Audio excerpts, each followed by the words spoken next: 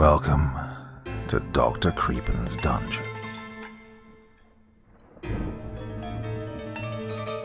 It is said that a true soldier fights not because he hates what's in front of him, but because he loves what's behind him. We might just see the truth in that in tonight's four stories, all by the wonderful author Taxi Dancer. Now, as ever, before we begin, a word of caution. Tonight's stories may contain strong language, as well as descriptions of violence and horrific imagery. If that sounds like your kind of thing, then let's begin.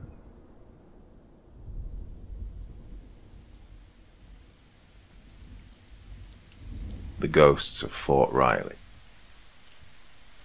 I'd completely forgotten about these events until, 20 years later, I hooked up with my buddy Rob when we found ourselves in the same unit deploying to Afghanistan. Fort Riley in Kansas is home of the famous U.S. Army 1st Infantry Division. It's one of the Army's oldest and most haunted posts.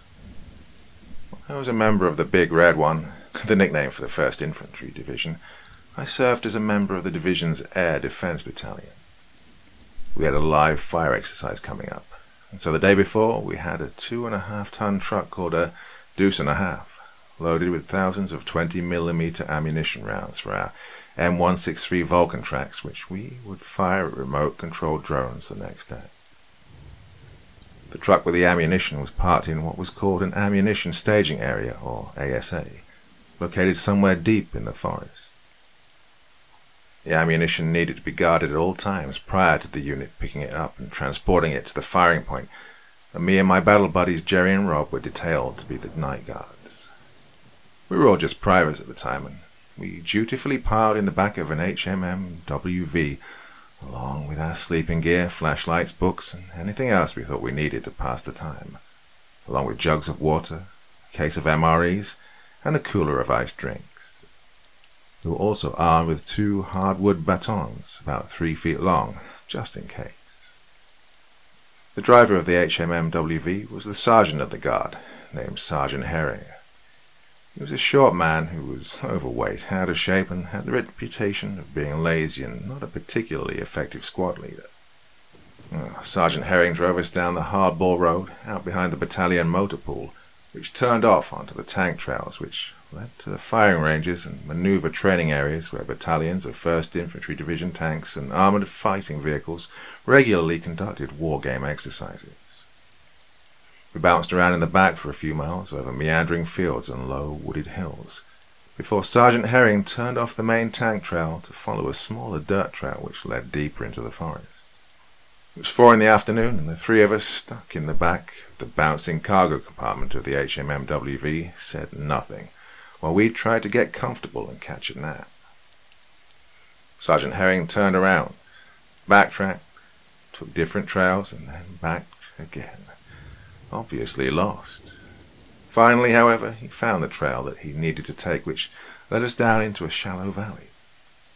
He was flooring the HMMWV down the winding trail, which was only wide enough to allow one vehicle, which jostled us around even more in the back. Recklessly, Sergeant Herring followed the dirt trail up a slight incline, which led to another hardball road. The incline led to a low plateau with a square compound built on it. The compound was simply a concrete parking lot about a quarter mile square surrounded by two chain link fences topped with razor wire. Parked in the center of the parking lot underneath the lights was a deuce and a half truck with the ammunition. Two one story shacks were built outside the fence next to the gate, which led into the fenced in parking lot, and Sergeant Herring parked the HMMWV next to the smaller of the two shacks. Get your gear and get the hell out yelled Sergeant Herring from the driver's compartment. This is going to be home until we're relieved tomorrow. Me, Rob, and Jerry jumped out of the back of the HMMWV and gathered our gear. The door to the small shack opened, and another squad leader, a lean, good-natured staff sergeant with a handlebar moustache named Staff Sergeant Sleet, came out saying, You're late, Sergeant Herring. It's almost 1800 hours. My guys are going to miss dinner chow at the mess hall. Did you get lost again? No, I did not get lost, said Sergeant Herring, offended. but we just smiled and nodded at Staff Sergeant Sleet, behind Herring's back. Three other soldiers emerged from the larger shack, which turned out to be the guard shack. They were friends of ours from Staff Sergeant Sleet's squad who'd had the day shift guard duty. We exchanged greetings as they piled into the HMMWV to go back to the main post at Fort Riley, their duty day completed. Staff Sergeant Sleet climbed into the driver's seat and said, Hey, Sergeant Herring, first platoon will be coming to relieve you at 0800 tomorrow. They'll be bringing out hot chow for breakfast.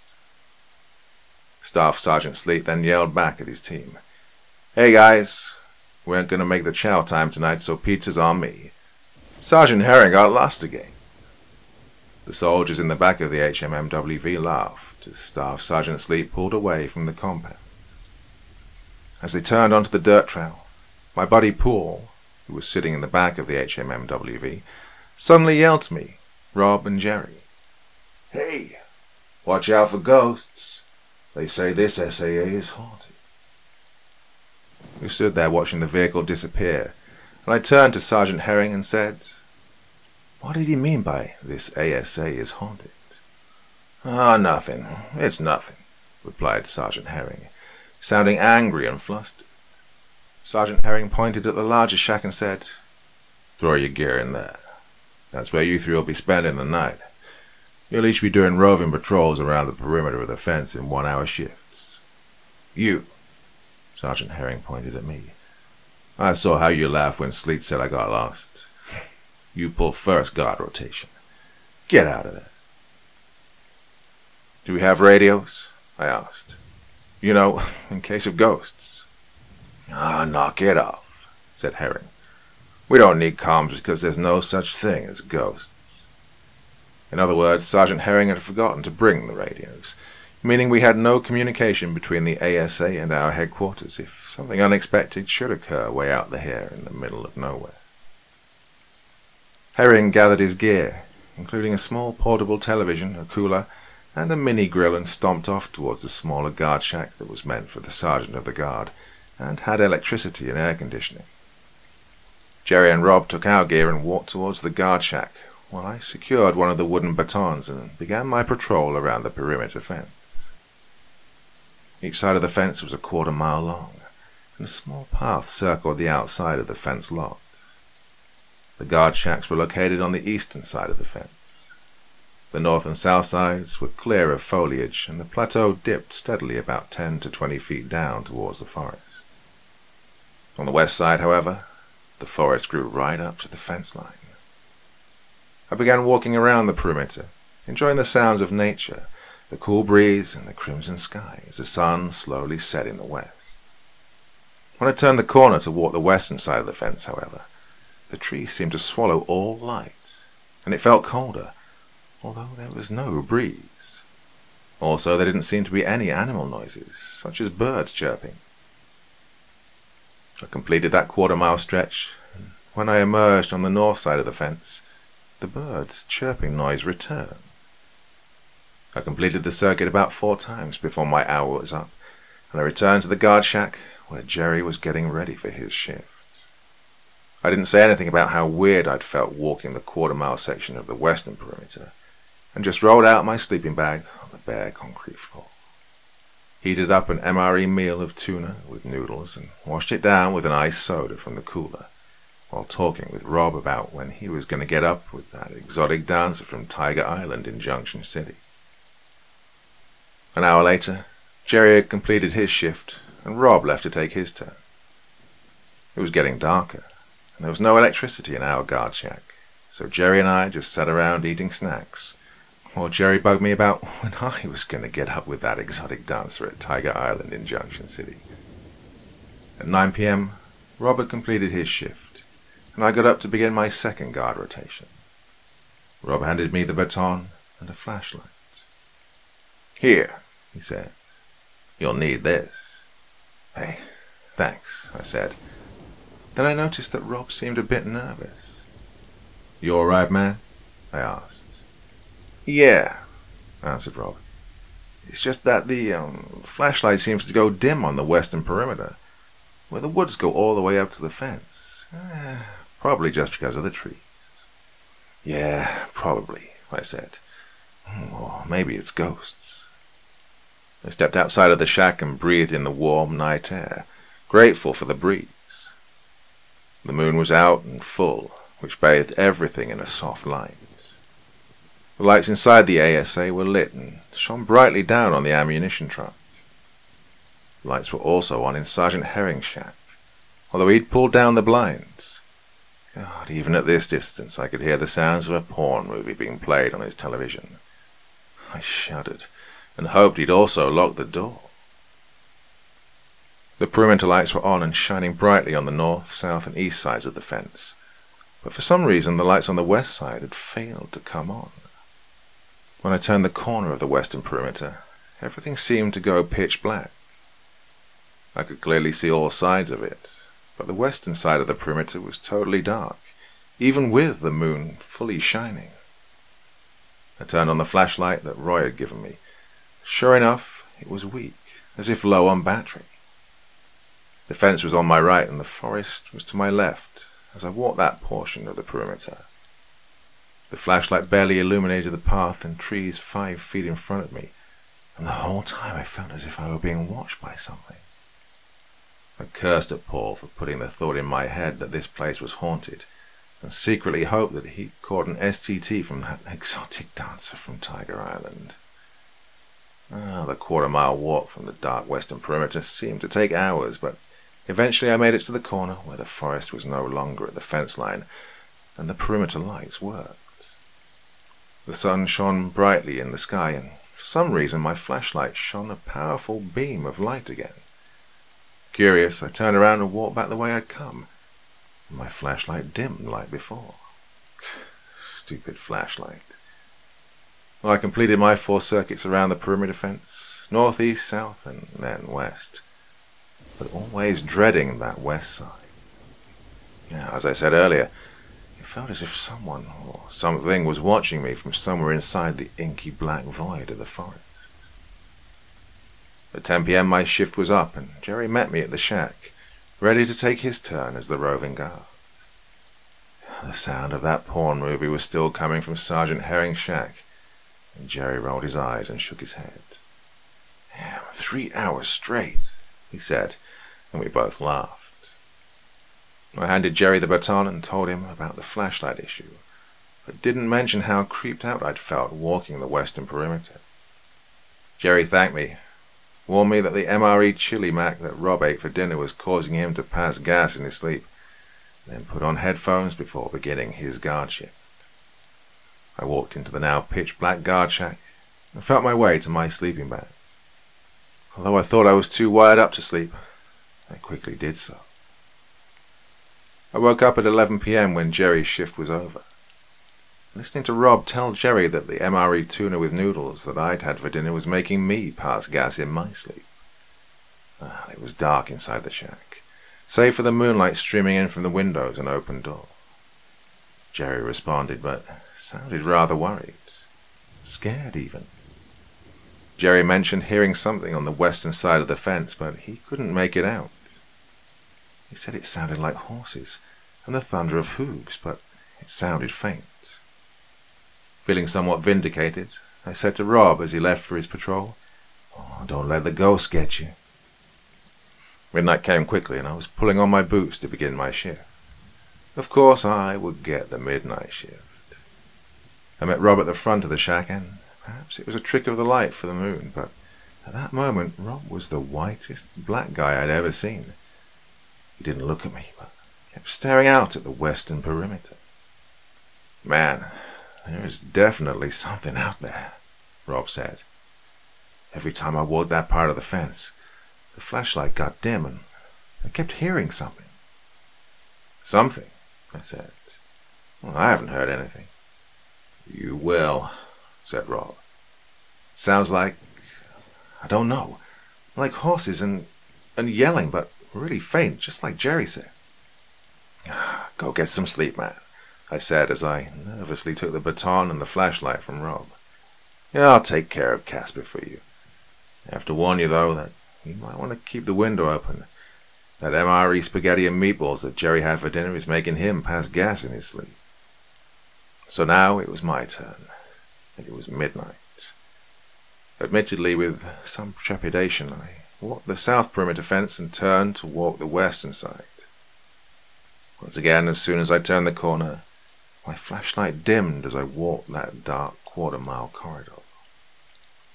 I felt as if I was not even there, as if I was somehow outside myself and I was watching me walking underwater.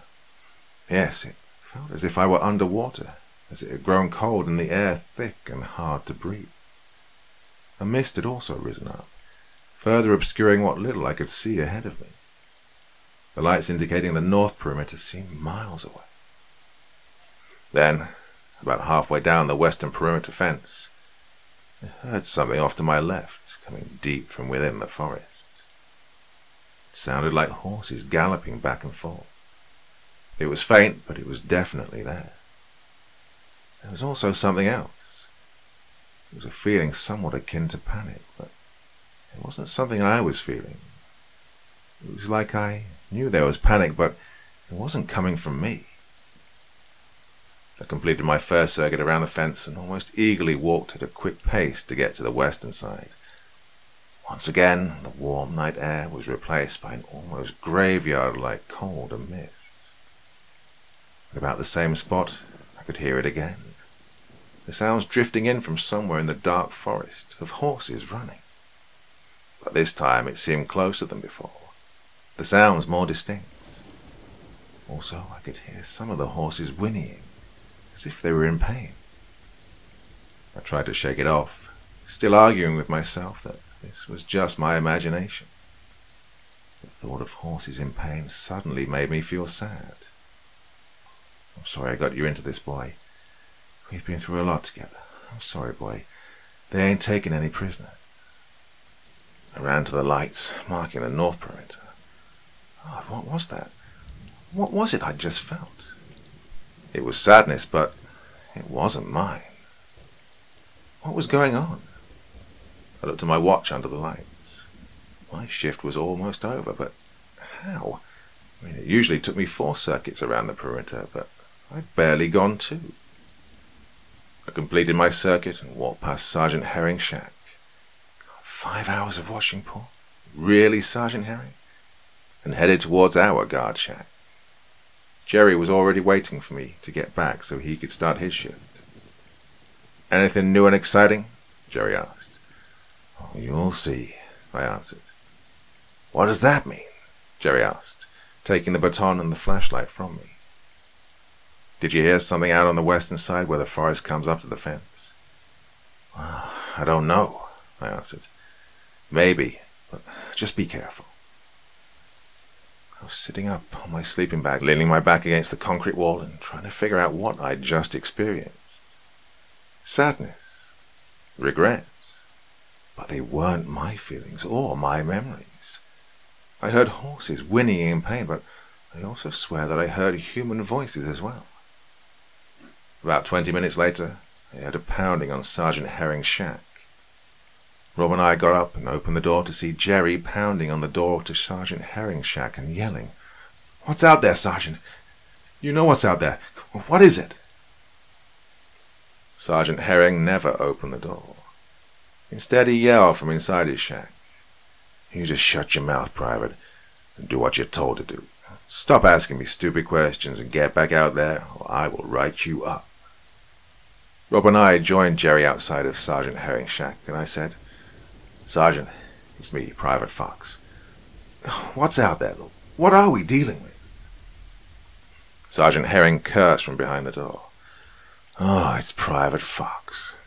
Private question McQuestionberry. I said to stop asking questions. I swear if you don't shut your mouth and carry out your orders, I will write up all of you for insubordination. Now go away, leave me alone.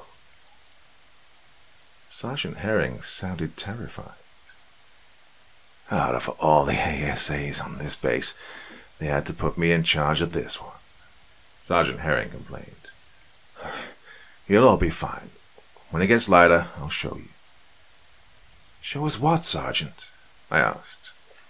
I said, you'll be fine, screamed Sergeant Herring as he finally shut off his porn movies and everything went dark inside his shack. Now, go away. Leave me alone. Rob and I offered to go with Jerry to finish his shift, but Jerry declined. That's fine, Jerry said. I got this. At this point, I could tell that Jerry was more disgusted with Sergeant Herring than he was afraid of whatever was on the western perimeter. At 2 a.m., Jerry's shift was over, and Rob got up to take his place. Jerry didn't say anything when he got back to our shack. Simply shook his head as Rob went out the door. I'm not sleepy, I said. You want me to come with you? I'm good, answered Rob as he took the baton and the flashlight from Jerry and disappeared out the door. Jerry rolled into his sleeping bag, lost in thought. Although we were all experiencing the same phenomenon, I want to talk about it. We were soldiers with a job to do, and we would do what was required of us. There'd be plenty of time to sort out what happened later. I couldn't sleep, so I went outside to get some fresh air. Loud snoring was coming from Sergeant Herring's shack. I looked to the fence line and saw a figure standing under the lights at the south perimeter of the corner. It was Rob. He was standing stark still, staring west into the thick forest. I walked up behind him. I'm at your six, Rob, I said so as to not startle him but he still jumped at the sound of my voice. What are you doing here? he said. You've still got another thirty minutes before you have to be on shift. I can't sleep, I answered. I can't move, said Rob. I can't bring myself to turn this corner and walk down that path. Come on, I said, leading the way. I'll go with you. As soon as we turned that corner, the flashlight went dim again the mist seemed to be chest high now. The temperature seemed to be dropping the further we went down the fence line until, again, near the middle of that part of the fence, my fingers began to feel numb from the cold, as if I'd been submerged in ice. Stop! Stop! Stop! whispered Rob. He shone the flashlight into the prevailing darkness, but it barely illuminated the trees, which seemed to reach out at us. Do you hear it? I nodded. This time the sound was unmistakable. Somewhere out in the distance of that solid black forest, a battle was taking place. The thunder of horses' hooves, the yelling of men, the battle cries of Native Americans, the screams of the dying. It was all there just beyond the reach of the pathetic illumination from our flashlight. I had an overwhelming sadness come over me Somewhere brave men and horses were fighting and dying. Somewhere out there. And then it was gone. Rob's flashlight shone in full brilliance, illuminating the surrounding woods. The mist was gone as if it had never been there, and the cold air was replaced by a cool early morning breeze. I also realized that it had become easier to breathe again, and that the heaviness seemed to have been lifted. Rob and I looked at each other, the sadness also seeming to have vanished. We simply shrugged. I did my 3 a.m. guard shift around the perimeter, but nothing unusual happened, nor did anything unusual happen on either of Jerry or Rob's subsequent shifts. As promised, at 0800 in the morning, first platoon arrived with hot breakfast chow and time to take possession of the deuce and a half truck and all of the 20 millimeter ammunition. The sun was rising in the cloudless blue sky, and it promised to be a great day of shooting our Vulcan cannons. Sergeant Herring finally opened the door to his shack, appearing to be nicely rested, and helped himself to the lion's portion of the breakfast chow while complaining to the first platoon leader about how he doesn't get this new generation of lazy young soldiers. In fact, Sergeant Herring helped himself to so much breakfast chow that Jerry, Rob, and I had to content ourselves with hot coffee and dry cereal eager to get out of the ASA. Sergeant Herring yelled at us to get our gear and get in the back of the HMMWV. Jerry, Rob, and I just stared at him. Sergeant, I said, last night you said you'd show us what was out there when it became light. Show you? Show you what? stuttered Sergeant Herring. I didn't say I was going to show you anything. Sergeant, said Jerry, you told us you'd show us what was out there in those woods. Sergeant Herring cursed again. Private, I am ordering you to. Hey, isn't there a grave around here? interrupted Lieutenant Cook, the first big platoon leader with the Ranger tab. You know, Fort Riley used to be a horse cavalry post. I think it'd be a good learning moment to take these young soldiers to see the history of this place. Don't you agree, Sergeant Herring? Yeah, yes, sir, gulped Sergeant Herring. Do you know where those graves are located, Sergeant Herring? asked Lieutenant Cook. Yes, squeaked Sergeant Herring. Well, take us there, Sergeant, smiled Lieutenant Cook. I'd like to see it. A visibly pale, Sergeant Herring led us, Lieutenant Cook, and about fifteen other soldiers from 1st Platoon out to the back of the ASC, where the woods reached the western part of the perimeter. About midway was a small trail which led down off the plateau and into the woods. So small and narrow that one would easily overlook it, unless they knew exactly where to find it. In the darkness, Jerry, Rob, and I had completely missed seeing it. The trail wound between thick trees and clinging vines as it descended deeper into the valley for about a 150 meters before emerging into a clearing about 25 foot square. There, in the middle of the leaf-strewn clearing, were two grave markers, each topped with the brass image of a horse. The names on the plaques had faded, so I couldn't read what was inscribed on them. The morning sun shone down through the trees upon this quiet and solemn place. Sir, said Sergeant Herring. Buried here are two horses from General Custer's cavalry troop. They were killed at the Battle of Little Bighorn and brought back to Fort Riley to be laid to rest. And there you have it. Sergeant Herring had given us the answer to our mystery. None of us ever talked about what happened during our guard duty that night.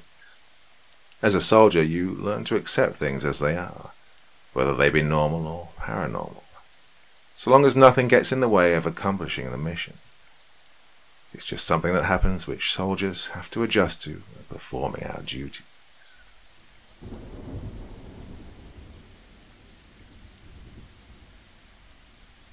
Hey guys, how's your beach body treating you? Manscaped's here to ensure your post-quarantine body is ready for the wild. Don't be that guy at the beach with a bear rug on your chest. Look, the least you can do is make sure you're hairless. So join me and over 2 million other men worldwide who trust Manscaped with this exclusive offer for you 20% off and free worldwide shipping with the code CREEP at manscaped.com. Manscaped is dedicated to helping you level up your full body grooming game. And let me tell you, they have forever changed the grooming game with their Perfect Package 3.0. The kit comes with the essential lawnmower, 3.0 waterproof cordless body trimmer, and a ton of other liquid formulations to round out your grooming routine. Now, inside the perfect package, you'll also find the Manscaped Crop Preserver, a special deodorant, and you'll also find the Crop Reviver, a testy toner that's designed to give you a pep in your step. Subscribe to the perfect package and get a new blade refill with your Lawnmower 3.0 trimmer delivered to your door every three months. And for a limited time, as a subscriber, you'll get two free gifts the Shed Travel Bag, $39 in value, and the patented high performance reduced chafing Manscaped boxes. So, get 20% off and free shipping with the code CREEP at manscaped.com. Again, that's 20% off with free shipping at manscaped.com. Just use the code CREEP. Trim your chesticles with the besticles.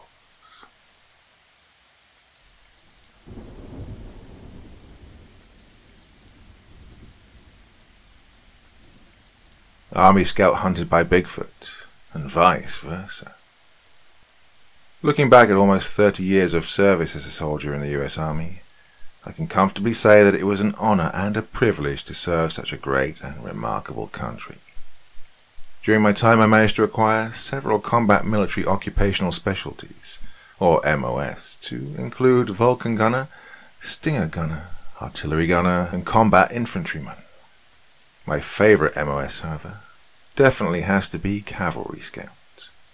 As the name implies, an Army cavalry scout is the eyes and ears of the maneuvering combat battalion. We usually operate alone and far ahead of the main combat force, oftentimes behind enemy lines.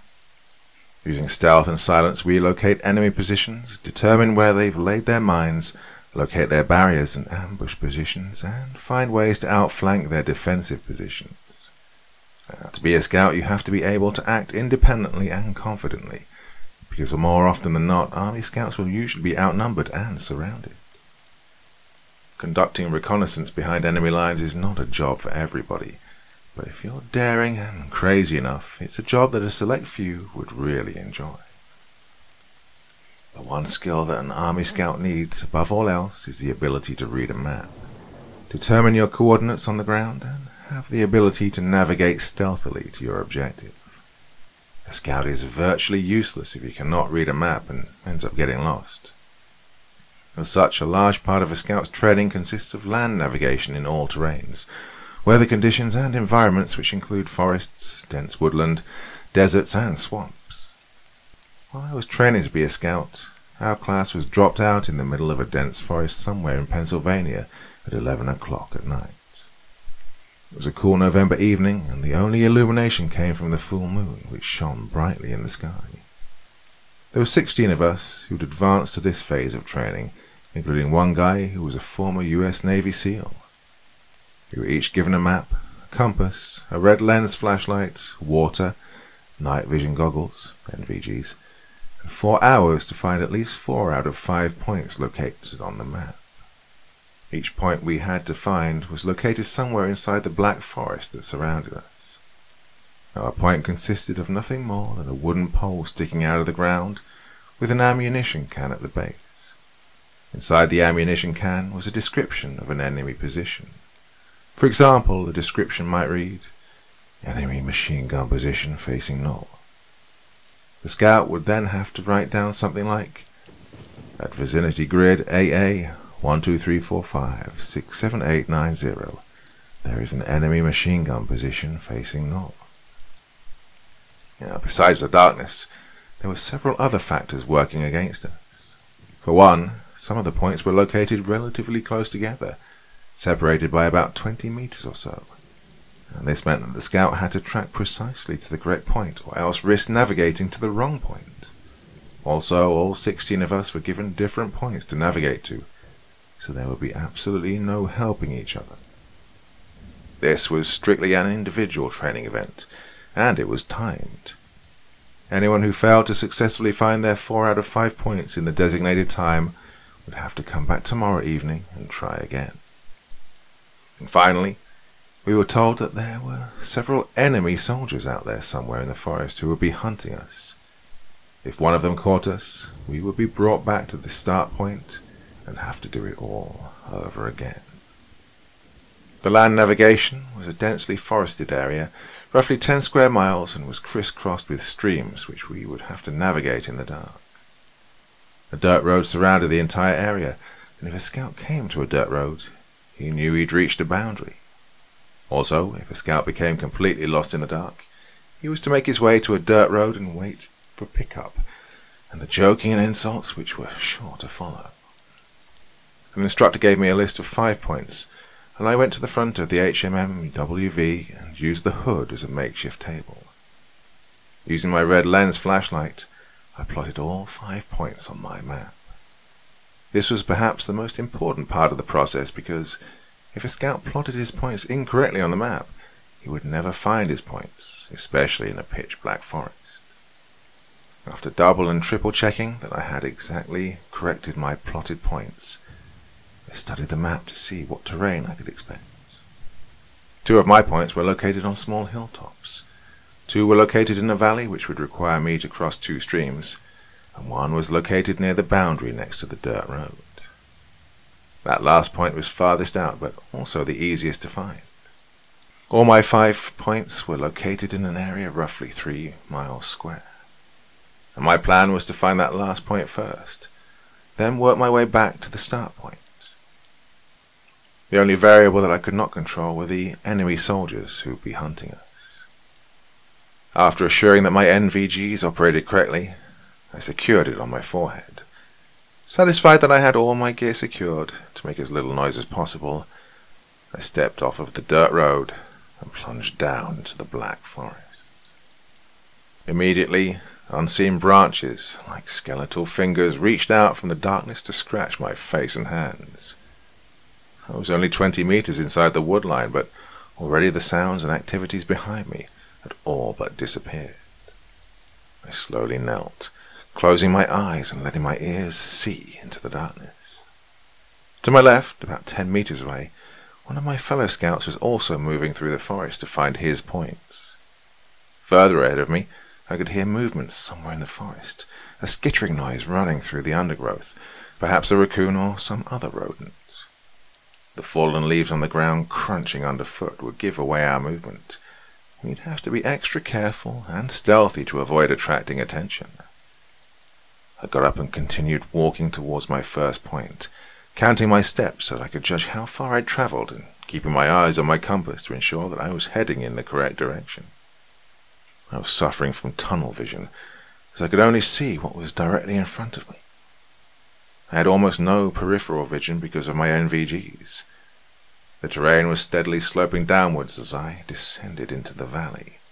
Occasionally I would stop and kneel to scan my surroundings to see if I was being followed. So far, however, it was all quiet. It appeared that I was alone on this stretch of forest. At the bottom of the valley, the ground became muddy, and at one point I sank to the top of my boots in cold mud. A stream about eight feet wide crossed in front of me. I debated on whether to cross the stream or find a way around it.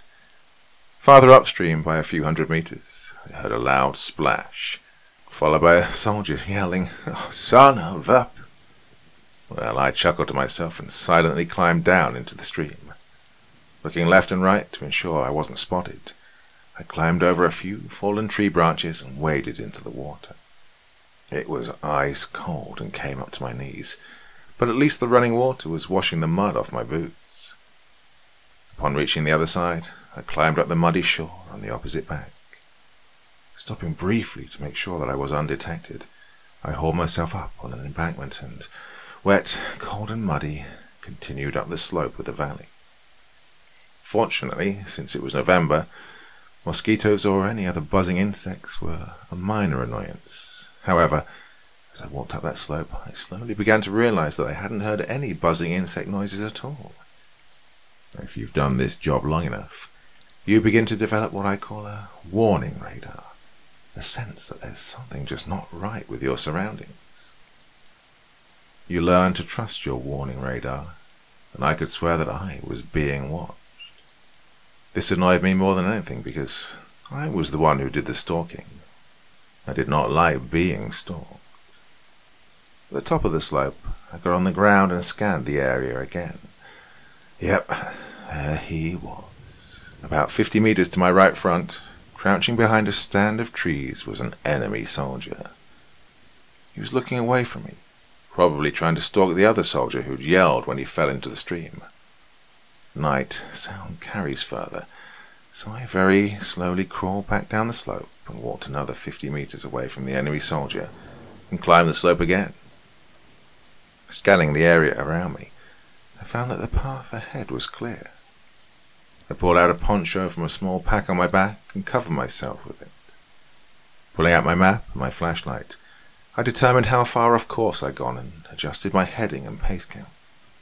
Satisfied that I was still heading in the right direction, I put the poncho away and slowly stood up to proceed ahead. Suddenly, far off to my left, I heard the enemy soldier yell. You've been captured, Scout.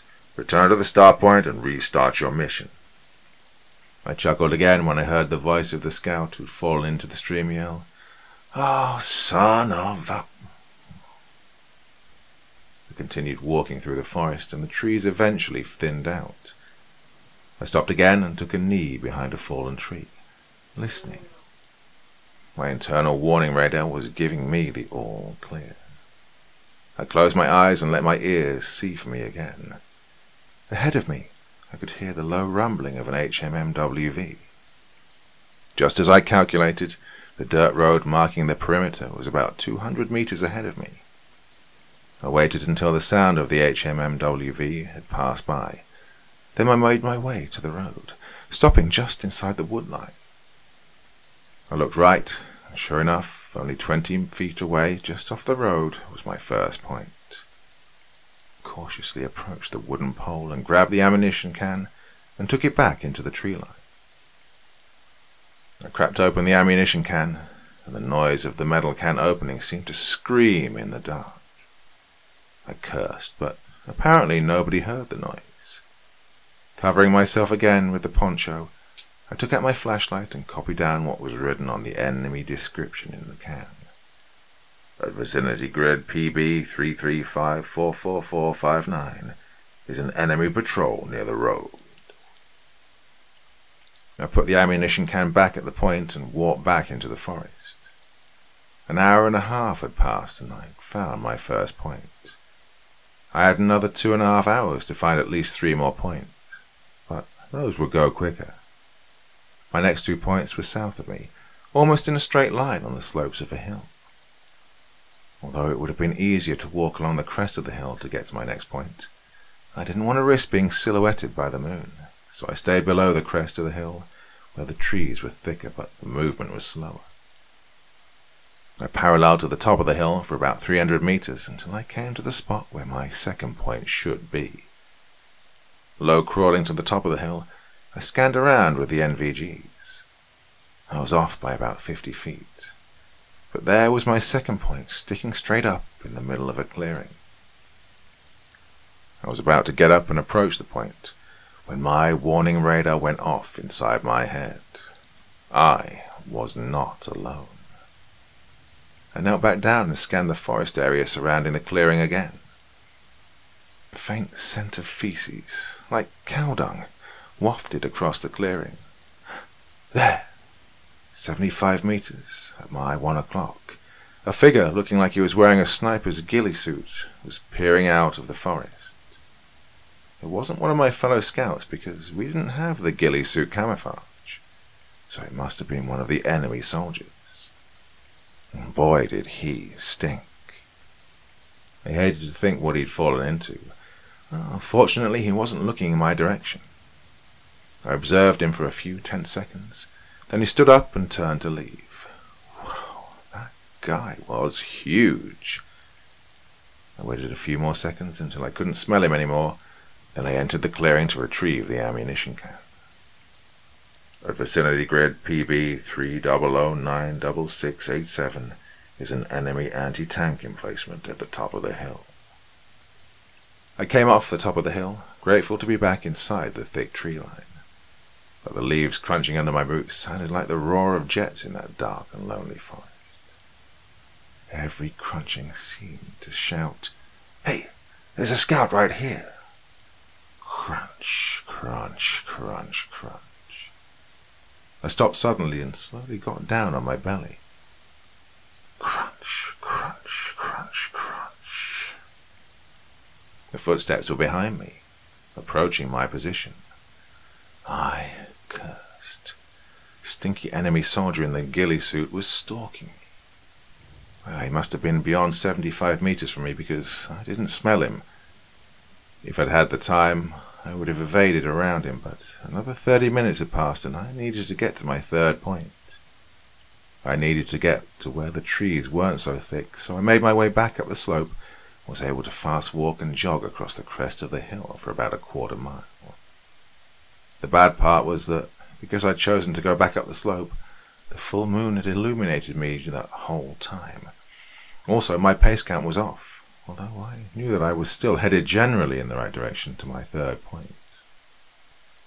I ran down the slope and back into the woodline again, stopping to see if stinky enemy soldier in the ghillie suit had followed me. Well, satisfied that I lost him, I began searching the area for my third point. Because I'd made a detour up the slope and had lost my pace count, I was not as accurate in positioning myself close to the third point. I just knew it was around here somewhere, here in a 50 meter radius. The bad thing about NVGs is that while it gives the wearer an amazing ability to see in the dark, it also severely limits the wearer's depth perception. I found the point literally by accident when I inadvertently kicked over the ammunition can.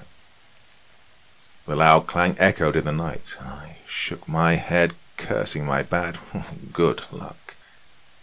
Pulling out my flashlight again, I copied down the enemy description that was inside of the ammunition can. The vicinity grid PB 288-34755 is an enemy command post. I returned the ammunition can back to the point. I was turning to go to my fourth point when I could make out the faint smell of cow dung again. Ah, man, enemy stinky soldier in the ghillie suit sure was fast for a big guy, as well as being persistent. It was almost two in the morning now, which meant that I had a little over an hour to find my fourth point. If I had any time left, I'd look for the fifth point, which was only a quarter mile from the start point. I turned due south and headed back down into the valley.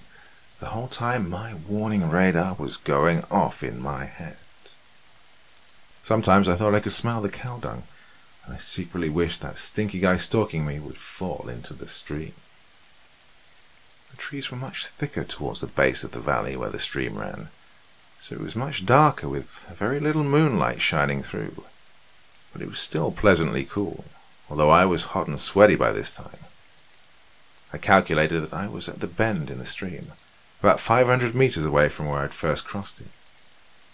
This fourth point was weird because it looked to be directly in the stream on my map, meaning it could be either on the bank or in the stream. I wasn't looking forward to searching both sides of the stream, but I didn't have much choice. I knew that my fourth point was here somewhere close by. I silently searched my side of the muddy stream, first for about fifty meters. The rippling of the waters masked any noise I made, but it also masked the noise of any approaching bad guys as well. Finding nothing on my side of the stream, I once again climbed down an embankment and waded across the icy cold water to the other side and began my search again. I searched for another fifty meters and still saw nothing except mud and fallen trees. I was beginning to doubt that I'd plotted this point correctly when I looked at the stream again and noticed something that I hadn't seen before. In the middle of the stream was a narrow dry spot of land like a miniature four foot square island. In the middle of this little island was my fourth point. I waded back into the water, and after I covered myself with my poncho, I quickly opened the ammunition can. A vicinity grid PA 00958824 is an enemy submarine base. really? I thought. A submarine base? Whatever. I closed the ammunition can and set it back down and the smell of cow dung seemed to hit me like the heat you feel when you open a hot stove. I cursed. Even though I'd found the necessary points that I needed, I still had to get back to the start point without being caught, or else I'd have to do this all over again. God, how did Stinky Guy keep finding me? Very slowly, I knelt down on the island and crawled backwards into the freezing water. Smell was all around me, and there was a noise like branches breaking on the bank, followed by splashing sounds only fifty meters to my left. The moon shone down at the place where there was a bend in the stream, and outlined in it was a big, big, stinky enemy soldier guy. Most of my body was submerged in the water, my upper body hugging that little strip of island in the middle of the stream. I looked up at the guy. He was 50 meters away from me, and I gulped. What I had at first thought was a ghillie suit was actually fur. It was a good seven and a half to eight feet tall, had a gorilla-like face and was covered with dark, thick fur. The creature stood in the middle of the stream, looking around and seeming to sniff at the air.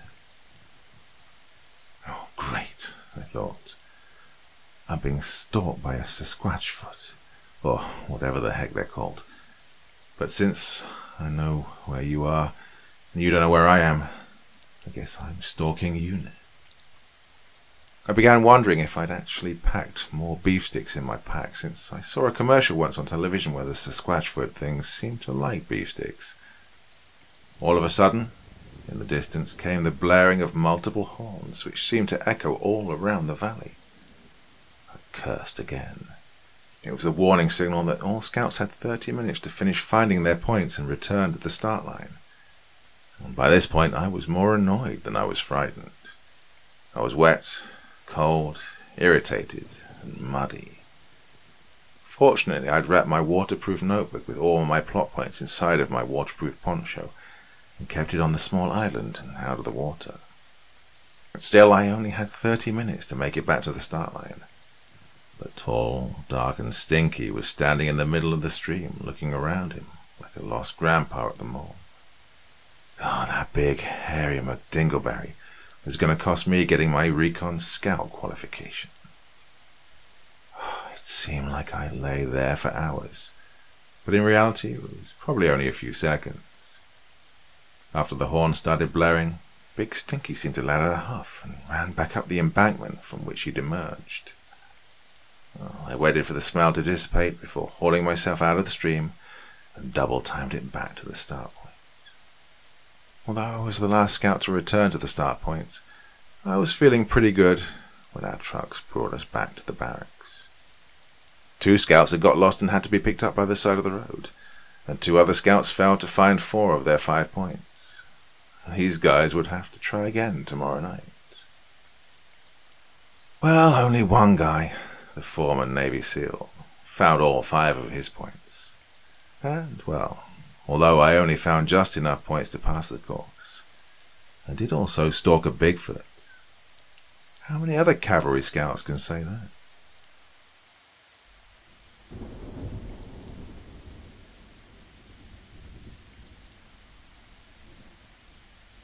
Artillery versus mythology. My mother had arranged for one of my cousins to pick me up from the international airport in Manila during my last visit to the Philippines. Being Filipino myself, it seemed like every time I returned to visit my parents' native country, I am introduced to hundreds more cousins and relatives which I never knew I had. I'd never met this cousin, whom I'll call Juan, who came to pick me up on a warm, tropical evening. It was near midnight, but Manila was still alive with the lights and sounds and hustle and bustle of a crowded metro city. My cousin Juan, a slender young man sporting a military style haircut, picked me up in an older model van, and after tossing my baggage in the back, we began the long and slow trip out of the city. I was on block leave from the army, having just returned from a deployment to the Middle East, and I came to the Philippines to relax and to get away from all things United States military. As we made our way slowly through the congested midnight streets, still filled with shoppers, vendors, tourists, and partygoers, my cousin asked me what I'd do in the U.S. Army. Uh, we had a good five-hour drive to where I'd be vacationing near the beaches. I told him that I served as a platoon sergeant in an artillery unit. I'm also known as the Chief of Smoke, or simply Smoke. Well, my cousin Juan got very excited to hear this. As it turns out, he was also an artillery crew member in the Philippine Army, and he anxiously invited me to visit his artillery unit before my vacation was over. Naturally, I accepted the invitation, as I was quite anxious to see my fellow Filipino 13 Bravos. That's the U.S. Army designation of an artillery soldier. See them in action. Yes, I came to the Philippines to get away from things that go boom really loudly, but I just couldn't pass this up. Towards the end of my vacation, my cousin Juan again picked me up, all dressed and looking tactic cool in his Philippine Army battle dress uniform, and took me to the base. I was very excited to see how the Filipino artillery units operated compared to the way we operated in the American artillery units. For one, I noticed that the Filipino battle dress uniform was pretty modern, resembling our own American uniforms with a similar digitized camouflage pattern, much like the ones our US Marines wear. Their equipment loadout was also basically the same as ours, with modular, load-bearing vests of ammunition pouches, grenades, first aid kits, and water, while their individual weapons ranged from 5.56 caliber M16s and M4 rifles, with the designated sharpshooters armed with the 762 caliber M14 rifles. All in all, I judge the individual Filipino artillery soldiers to be just as motivated, competent, and professional as the best soldiers that served in my unit. My only disappointment was with the old equipment that the Filipino artillerymen were using. Their main artillery gun was an old American M101 105mm towed howitzer. Long retired from service with the United States Army, the M101 first saw service in 1941 and was now considered a museum piece by most of the Allied countries which used them. But the M101 howitzer still soldiered on with the Philippine military, and, in fact, the artillery piece which many of these young soldiers operated were the same artillery pieces which their fathers had operated, and their grandfathers operated before them. In addition, their methods of emplacement and laying the gun battery, that's setting up the firing unit, then positioning the gun tubes to fire on the enemy, hadn't changed much since the 1960s. On average, it took 15 to 20 minutes to get the unit into position and set up with artillery shells and ready to fire at the enemy. By contrast, the modern United States military, using sophisticated GPS, satellite, and target acquisition systems, could set up, acquire the enemy target, fire and destroy the enemy, and leave the firing position in a fraction of that time. I was issued a Philippine military vest with body armor and a Kevlar helmet, and accompanied the unit to the field where they set up to fire a battery of four howitzers. Given the fact that they were issued ancient equipment and were using outdated fire procedures, the unit still performed admirably with what they had and were able to put steel on target as quickly and as accurately as was possible. The unit commander was an air assault qualified officer named Captain Kingles, who was justifiably pleased with his firing battery. From emplacement to rounds impacting on target, the unit averaged only 10 minutes. This was a remarkable feat given the equipment they had to work with. Later in the day, we returned from the field to the main base, where the unit cook served the soldiers a meal of a curry made with goat, a soup made with noodles, and a type of Vienna sausage, oh, and a generous portion of rice. After lunch, the soldiers began the task of cleaning and doing maintenance on their howitzers. I took that time to walk around the huge concrete bay where the unit held their formations and admired the many pictures, banners, and citations that the unit had earned which decorated the walls. One picture in particular caught my eye, and I had to do a double take to ensure that what I was seeing was real. The picture was taken inside that very bay, with six soldiers standing side by side in front of a wall. The soldier in the middle I recognized as being Captain Kangles, although at the time the picture was taken he was a lieutenant. My cousin Juan was standing to the far right. What was shocking was that, mounted on the wall above the six soldiers, was a giant wing. The wing was colored dark gray, almost black, and seemed to be covered in coarse fur. The wing was withered, resembling that of a bat, only it extended beyond the six soldiers standing underneath it. Assuming that each of the soldiers took up two feet of standing space, I'd estimate that the bat-looking wing in the picture measured about 14 feet long. Not wanting to take any soldier away from their duties, I waited until later in the evening when the unit's first sergeant, First Sergeant Gompalas, and several other sergeants invited me and my cousin out for dinner and drinks at the base NCO club. Over a plate of grilled steak kebabs and a nice bourbon on the rocks, I asked First Sergeant Gompalas about the curious picture that I'd seen in the bay. To my surprise, they talked about how they acquired the wingers nonchalantly as one might describe their morning commute to work. This was the story that was related to me that night. Back when Captain K. Kangles was a lieutenant, the unit went out for about a week of training in one of the more remote islands in the southern part of the Philippines, where suspected insurgent fighters were said to be operating. It was a heavily forested area with several mountains and hills where almost anything could hide. The unit made a base camp in a clearing about two miles from the nearest village and began conducting artillery training, firing rounds into an uninhabited impact area which had previously been cut out of the dense jungle. On the fourth day of training, the village leader and several farmers came to the base camp and demanded to see Lieutenant Kangles. The village leader accused Kangles that his men had stolen several chickens and a goat from the village the night before and demanded repayment. Immediately, Lieutenant Kangles formed his unit and a thorough inspection was conducted.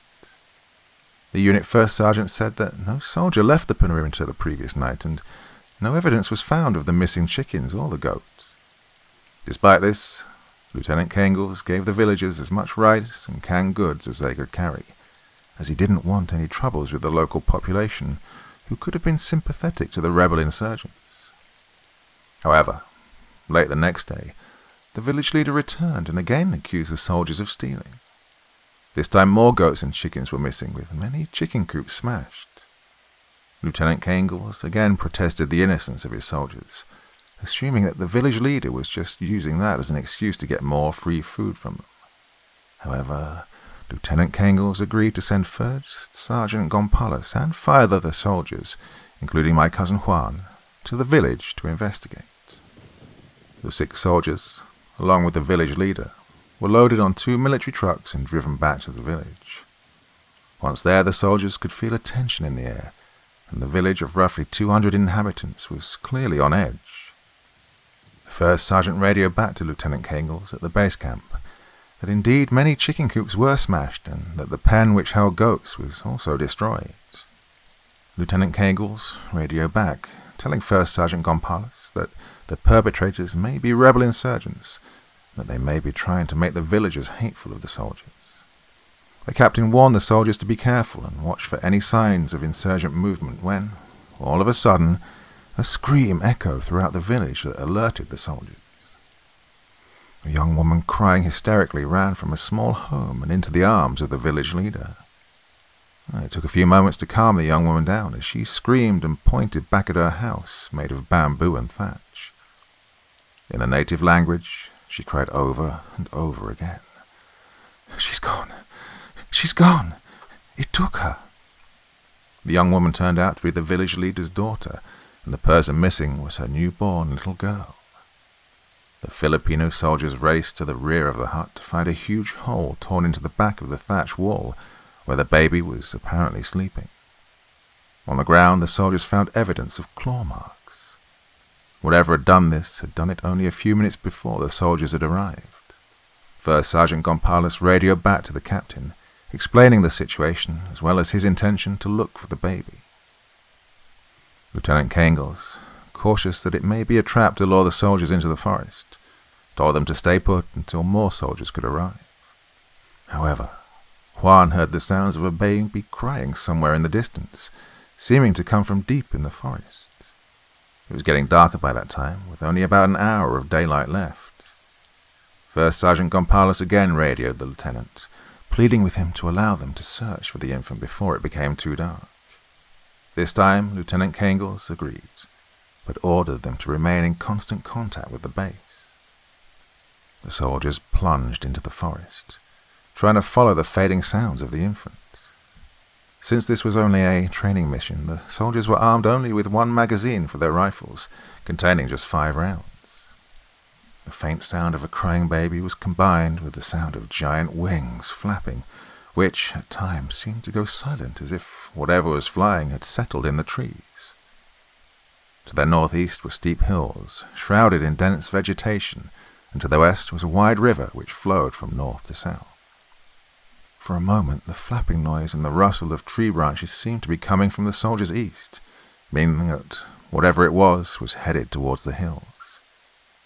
The soldiers had already been running through thick and humid jungle for about a mile, scanning the treetops and listening for noise, but after a while, the flapping noises ceased and the jungle became quiet again. The soldiers stopped in the thick jungle, forming a perimeter, and listened. They were at the base of the hills. Three quarters of a mile to the west was the river. The soldiers were sweating and tired, having had to maneuver around the vegetation and fallen trees in their desperation to find the infant. Once again it was Juan who heard the crying. Somewhere on the steep hill above them was the faint sound of a crying baby. As the sun crept lower and lower over the horizon, The soldiers began ascending the hill, grabbing roots, vines, and branches as they pulled themselves ever upwards. Though completely exhausted, the further up they climbed, the louder the cries of the baby were heard. They finally came to a somewhat level ground where the baby could be heard only a few dozen meters away, but they couldn't see her due to the incredibly thick vegetation. Suddenly, they were met with a sound like rushing water, and something monstrous with hideous black wings broke through the dense foliage. Juan got the best glimpse of the thing, describing it as standing roughly five feet tall, with a face that looked to be a combination of an old hag and a bat. The thing looked somewhat human, with female features but with legs and feet like a bat's, and it was covered in dark fur. This was the only good look that the soldiers got of the entity, as the rest of them only saw a dark shadow as it passed overhead. Climbing over a small rise, the soldiers emerged into a small clearing to a shallow cave. Around the cave were the carcasses of half-eaten raw chickens and goats. Inside the cave, in what can only be described as a nest of straw, scrap cloth, and dead foliage, lay a little baby girl. Her thin clothing was ripped, and she'd suffered several scratches and appeared too tired to even cry any more. First Sergeant Gompales immediately scooped up the baby girl in his arms, comforting her as she coughed and whimpered. All of a sudden, shots were fired as the soldiers began firing down the hillside. First Sergeant Gompales rushed over to see what his soldiers were shooting at. The thing was gliding downwards, away from the hill and towards the river. If it gets across the river, we won't be able to track it again, yelled Juan. The thing sat down on top of a thick strand of trees less than a mile away, apparently injured by the shots fired from the soldiers. First Sergeant Gompales handed the baby over to Juan, then grabbed the radio from one of the other soldiers. Fire mission, fire mission, fire mission, he yelled back to the artillery base. One round, shell, high explosive, Fuse, airburst. At this point, Lieutenant Kangles could have questioned First Sergeant Gompales as to why they were firing outside of the designated impact area. He could also have questioned why they were firing an airburst, an artillery round timed to explode in the air. He did neither, trusting in the judgment of his combat experienced First Sergeant, and ordered his unit to execute the fire mission. Shout out, yelled Lieutenant Kangles into the radio as one M101 howitzer belched smoke and fire. Meanwhile, the thing was half walking, half crawling towards the deeper woods, flapping its wings again as if to try and fly. The soldiers up at the cave held their breath as the creature disappeared into the woods, followed by an explosion in the trees fifty feet above where the thing had vanished under the vegetation. Just as the last fading rays of sunlight dipped below the horizon, a dark shape emerged from under the smoke, a scream eerily human sounding coming from it. The black shape attempted to flap its wings as it tried to cross the river. Instead, all that could be heard was a loud splash. As soon as the soldiers returned to the village, they quickly brought the baby girl back to the base camp, along with the village leader and the greatly relieved mother. The medics examined the baby girl and cleaned and bandaged her wounds. Despite being a bit dehydrated and scratched and bruised, the baby girl would make a full recovery. Lieutenant Kangles filed a report with the battalion command and assigned a squad of soldiers to watch over the village for a few days, but nothing more unusual occurred. Over the course of the next training period, soldiers returned to the village to help repair the damage to the chicken coops and the pens which held the goats. They also repaired the home of the baby girl, whom the soldiers nicknamed Lucky Star. The display of artillery gunnery by First Sergeant Gompales was nothing short of spectacular, as hitting a moving target with just one round was amazing. Three days later, fishermen fishing the river found the wing washed up on the shore and brought it to the soldiers. The soldiers eventually brought the wing back to base and mounted it on the wall. The thing started to shrivel up and stink as it was exposed to constant daylight. So, a day and a half later, the soldiers took it down and burned it. And that was that. Still, the nonchalant way they described the incident fascinated me, as if this was just one aspect of life being a soldier in that part of the world. For their part, the Filipino soldiers were just as fascinated by my apparently nonchalant description of being surrounded by thousands of terrorist insurgents when I was on an isolated base in Iraq only a few months earlier. We Americans faced ISIS fighters, and the Filipino soldiers face big, creepy bat woman monsters. No big deal either way when you've got an artillery on your side.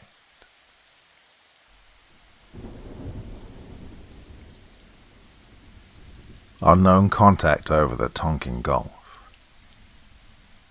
My heroes have always been those brave men and women who've actually gone out and been there and done that, and who overcame incredible odds to inspire the world. The young Jewish girl who hid with her family in an attic in Amsterdam and wrote in her diary about the horrors of Nazi socialist oppression before she was found and killed. The frightened young American soldier who climbed atop a burning American tank destroyer and single-handedly fought against an assault force of Hitler's best soldiers. The bold African-American doctor who gave his life in pursuit of his dream of racial equality in America. Those courageous first responders who gave their lives to save innocent lives during the 9-11 attacks. Ah, the little Afghan girl who was shot in the head by the Taliban because she wanted to go to school and survived to become a champion of the right of those little girls to go to school.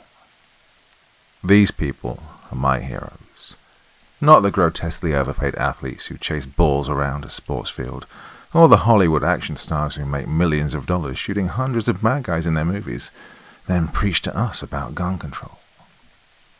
I know an elderly gentleman who comes into our local watering hole every once in a while and orders exactly three mugs of beer before he leaves. Although he's in his late seventies and hunched over with age, he is still rather tall and imposing. Despite his imposing size, he is quiet and reserved, never raises his voice, and is, in every respect, quite unremarkable.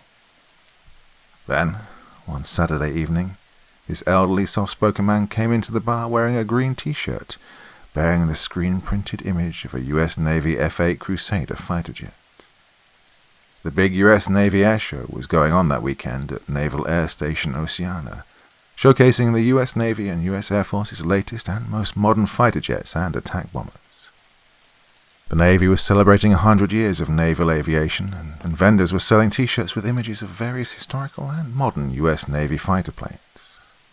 Ah, the Crusader was the US Navy's first supersonic jet and was designed to be an air superiority fighter used to defend the naval fleet against enemy fighters. The F-8 Crusader fighter served as the US Navy's primary air superiority fighter during the Cold War, and squadrons of F 8 Crusaders were extensively deployed with the US Navy and US Marines during the Vietnam War, where their kill record against the most advanced enemy communist fighters could not be matched.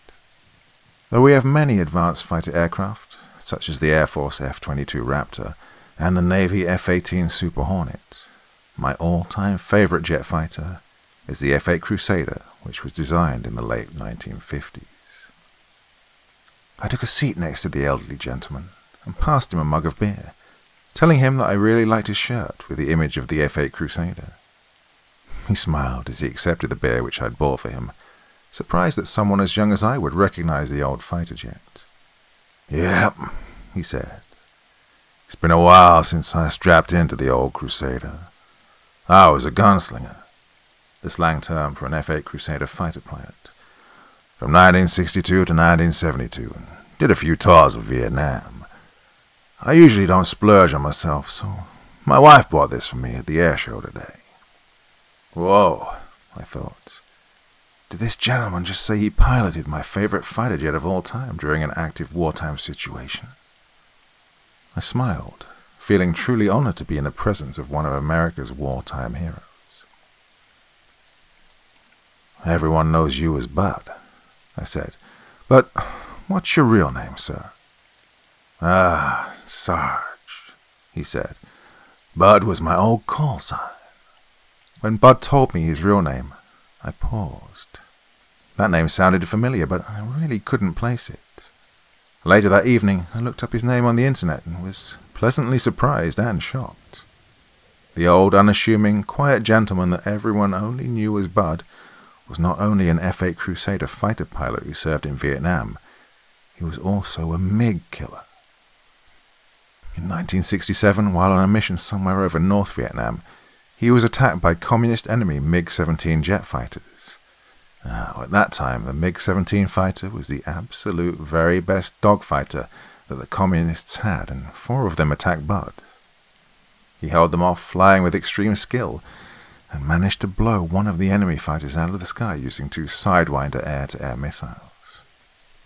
The rest of the enemy MiG 17s fled the area as quickly as possible, fearful of falling to Bud's Sidewinder missiles or his 20mm cannons.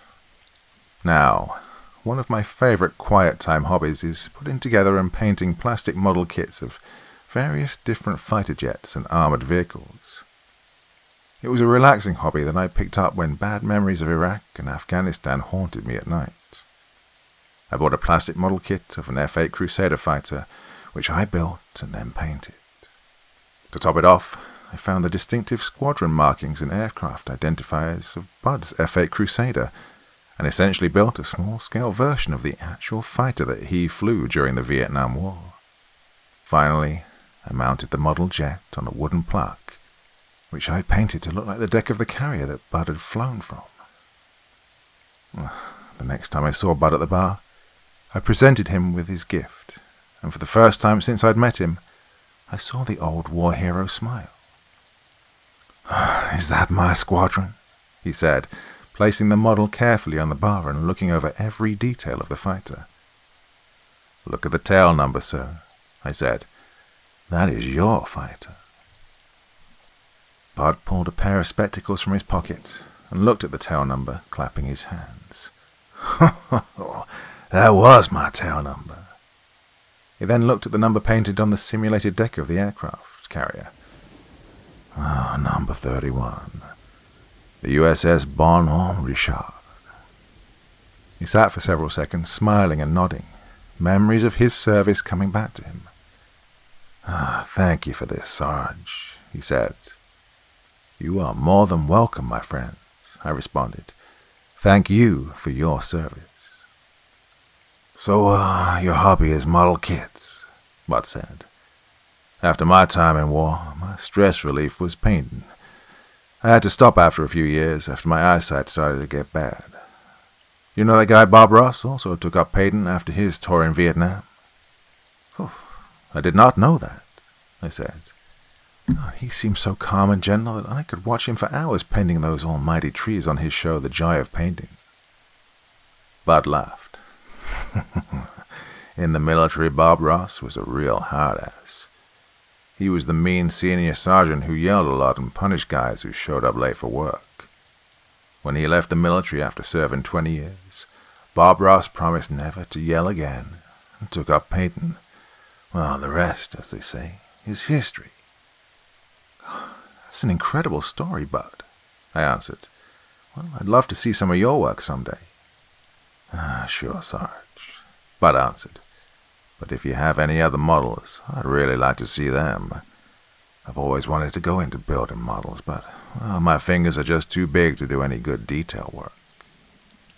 Well, in fact, I'd converted my garage into a man cave with wall-to-wall shelves of displays of military tanks and aircraft of every type and era.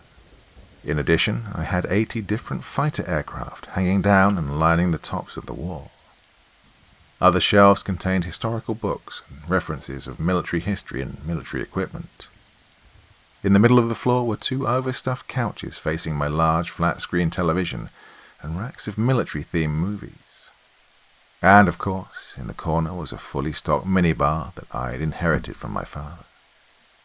My man cave was a virtual museum of American military history. I handed Bud a chilled pint of beer as I walked him into my man cave. He stopped at every diorama, studying each detail of every model, including models of US M1 tanks, M60 tanks, and even the Vietnam era M48 tank, the F4 Phantom II fighters, F100 Super Sabre fighters, the World War II era P-40 Warhawk fighters, and many, many more. Ah, this is almost overwhelming, Bud said, sitting down on one of the couches. Well, you can't take it all in at once. Well, you're welcome any time, Bud. I smiled. Hmm, said Bud, looking over at a display shelf on the far corner. On it, I had displays of science fiction models like Star Wars, Battlestar Galactica, Japanese anime, and models of the science fiction movies which were popular in the 50s and 60s. Bud stood up and walked to the shelf. Oh, I haven't seen that in decades, he said. Curious, I followed Bud to the shelf. Bud pointed to a diorama on the science fiction shelf. That's a plastic model I built of the supposed UFO that crash landed in Roswell, I said, thinking that Bud meant he saw an old 50s black and white science fiction movie that might have featured a UFO that looked like this. Yep, Bud said. Uh, it's pretty accurate, but the one I saw didn't have the big saucer-shaped transparent top. Still, it's pretty accurate. Um, I'm not sure what you mean, Bud, I said as I refreshed his pint of beer. you actually saw this aircraft? Bud nodded still staring at the model of the UFO before walking back to the couch. Yeah, yeah, yeah. It was a long time ago, but I still remember. That there is actually a model of what we saw. It makes me think that me and Boulder really did see what we saw. I poured myself a bourbon on the rocks and sat on the opposite couch. Oh, please don't leave me hanging, Bud. Did you also shoot down a UFO in Vietnam? Bud chuckled and sipped his beer. Do you really want to know? Of course, I said. Bud looked straight forward, as if his mind was traveling back in time. Towards the end of 1967, our tour duty on the Bonhomme Richard was coming to a close. We conducted an airstrike against communist military facilities at Haiphong Harbor near Hanoi, and one of our A-4 Skyhawk strike fighters was shot down by a North Vietnamese surface-to-air missile. Well, the A-4 Skyhawk pilot was ejected and uh, landed in an open rice paddy. Well, it was a race between our search and rescue guys and the communist militia to see who got to him first. We had two A-1 Sandys, slow-moving, propeller-driven fighters, and one Jolly Green Giant helicopter flying towards our downed pilot to pick him up. I was flying top cover with my wingman, Walter, over the rescue teams, protect them from the enemy MiGs. Uh, the pilot on the ground was hunkered down behind a paddy filled with muddy water and reported that the communists had in place several machine gun positions inside the tree line of a hill several hundred meters away. He was taking fire from that enemy position. Uh, the two Sandys and the Jolly Green Giant were still several minutes away, so I led Boulder into a steep dive towards the enemy gun emplacements. The F-8 Crusader wasn't optimized as a bomber. It was a fighter, but we were still armed with 2,000 pound bombs. We came in low, flying over our down pilot towards the enemy, and released our ordnance on the target. We pulled up as four massive explosions burst in the jungle behind us. We looped round and orbited over our down pilot, as he reported that the enemy positions had gone silent. But there were still more communists approaching his position. Ah, we stayed on site for several more minutes, but having expended our bombs, we only had our guns and air-to-air missiles, which were not very effective in hitting ground targets. Soon, however, the Sandys and the Jolly Green Giant arrived on site. I was almost bingo fuel, so I was ordered to return to the ship as two F-4 Phantom II fighters from the carrier Kitty Hawk took our spot as fighter air cover. Boulder and I were cruising at 20,000 feet, headed southeast, went feet wet over the Gulf of Tonkin towards our ship, when we were suddenly vectored to change course due north towards an unidentified aerial contact traveling at high speed towards our fleet, around 40,000 feet. We changed course and headed towards the unidentified contact, thinking that the communists were extremely foolish to attempt to hit our ships with just a single aircraft. Oh, we opened throttle and rapidly gained altitude to meet the unidentified craft head on. Our crusaders entered a cloud bank, and when we popped out of the clouds, there it was. A silvery metallic saucer-shaped object, about a mile to our 12 o'clock high. The object was approaching the fleet at high speed, but when we saw it, it suddenly stopped in midair and just hovered. Boulder was flying a half mile off my left wing, and the object was between us as we zipped past it. Oh, that object was definitely solid, and definitely wasn't anything the Americans had in our infantry. It was about a hundred feet in diameter. The top half of the saucer was convex and had what looked like small rectangular portholes around the perimeter of the craft. The bottom of the saucer was relatively flat, with a small circular protrusion extending below it. Seemed to glow slightly, but I wasn't sure if it was self-generated or if its metallic surface was reflecting the sun. Boulder and I banked sharply and dived back down to get a better look at the thing. Well, to our amazement, the craft simply dropped straight down to 20,000 feet in a matter of seconds. We dived in a turning loop in an attempt to get behind the thing and broke through the clouds again. We caught up with the craft, which was several miles ahead of us and was still approaching the fleet again. I tried tracking it with my Sidewinder missiles, but the craft would make these impossible moves which no human could survive. In one second, it would be directly in front of us, but once our sidewinders would start tracking, the craft would seem to jump a half mile left or right up, making it impossible for us to get a shot. Well, by this time, we'd close to where we could get a gunshot with our 20 millimeter cannon. Well, you might be able to throw off a missile, but you couldn't fool bullets. I was closing to one mile of the craft with Boulder still to my left, when the craft zoomed 90 degrees to the right and in a second was at least ten miles away before shooting straight up into the clouds. Boulder and I landed on the Bonnie, little more than fumes in our fuel tanks, and we quickly made our report to the CIC about our contact with the unknown craft, describing every detail we could about it. However, our main concern was for our downed American pilot still trapped inside North Vietnam. About an hour later, we learned that our pilot was extracted from that rice paddy and was on his way to Da Nang with a bullet in the leg. He was wounded but would survive, although the Jolly Green Giant that pulled him out was shot up pretty bad. The two Sandys that were covering them also suffered damage from enemy ground fire.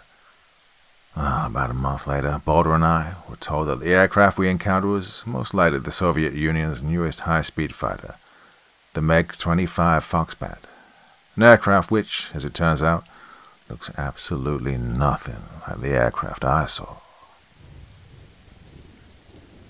But the U.S. Navy Crusader fighter pilot and American war hero peacefully passed away a few months later in his sleep, surrounded by family, friends, and loved ones.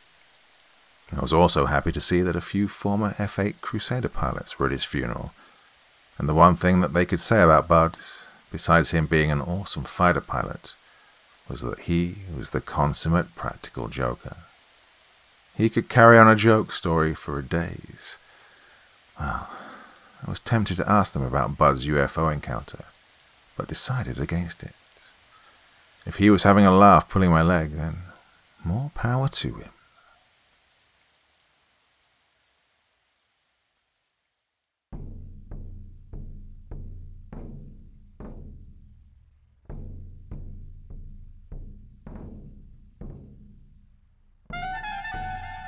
And so once again, we reach the end of tonight's podcast.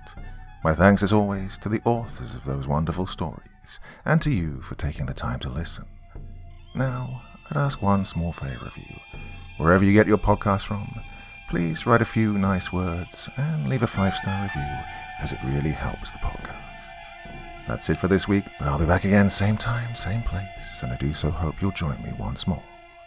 Until next time, sweet dreams and bye bye.